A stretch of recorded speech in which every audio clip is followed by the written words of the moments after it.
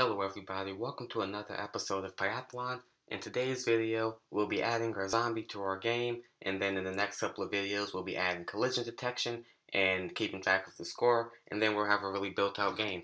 So remember, we're going to spawn this zombie at a random location. So before we can actually do that, we need to import this function we'll be using called randrange, which will give you a random integer between 0 and the value you specify. And we need to import that function from the random library. So we'll just say from random, import rand range. Alright, so the next thing we need to do is we need to add our, we need to load in our zombie image, our zombie character. So we'll just set zombie equal to pygame.image.load. This is the same thing we did for our character and for our background, zombie.png. Remember, you can find this image on pyathlon.com. I will include a link to that in the description, and it will be in the same place where you can find the character and the background file for this game. Alright, so we're going to need to give our zombie an initial position. And so the zombie is going to start on the left side of the screen and move to the right side of the screen. And then what we'll do from there is we'll update, and so we'll actually be able to move the zombie and it'll be able to spawn at random different Y locations. So in order to do that, we need to set some initial starting points. So we'll create this variable zombie x position, and we'll set it equal to 0 because that's the left side of the screen. And we're going to have a zombie y position. And this is going to be random because we want our zombie to spawn at random points uh, with regards to the y-axis. So this is where we'll use our rand range function. So we'll set that equal to rand range. And then we'll pass in the height of our screen. So we don't want our zombie to spawn off screen. So we want it, we want to limit this to zero to the height of our screen. And remember, you can change this height variable to anything else.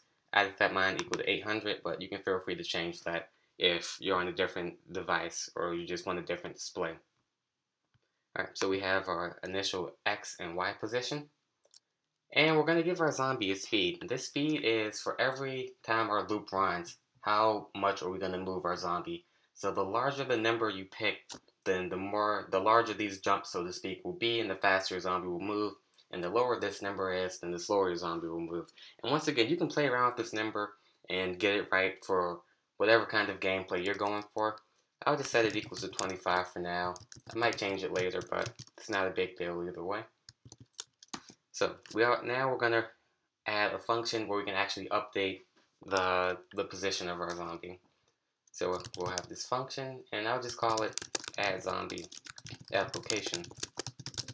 And then we'll pass in the XY coordinates for where we want to move our zombie to. And we'll do game display dot blit, which is the function used to add uh, image to the screen. We'll add our zombie, and then we need to pass in the tuple of the x and y coordinates. And for that, we'll just do x and y. Alright, so the next thing we need to do is we're actually going to go inside of our loop. And for this, you need to be inside of your while loop, but you don't want to be inside of your for loop. And we're going to actually update the position of our zombie every time this loop runs. So we'll take our zombie x position, and we'll add the zombie speed. We call it zombie speed, but more accurately it's the amount on the x-axis we're going to move our zombie by each time our loop runs. Zombie speed is just the name of our variable. And remember, once again, if our zombie moves off screen, then we want to bring it back to the left side of the screen at a new Y position. So we'll say if the X position of the zombie, which is what we keep in our zombie X pos variable, if that's greater than or equal to the, the width of our screen, the width of our display, I mean, then what we'll want to do is we want to set zombie X position equal to 0. And we're also going to want to reset the Y position and respawn it at a different Y value. And so to do that, we're just going to do zombie Y position. And once again, we're just going to do rand range and pass in height. So what this is saying is if our zombie moves off the screen, so if the X position of the zombie is greater than the width of our screen, then move it back to the left side of the screen at a different Y position and add our zombie to the screen at our given position.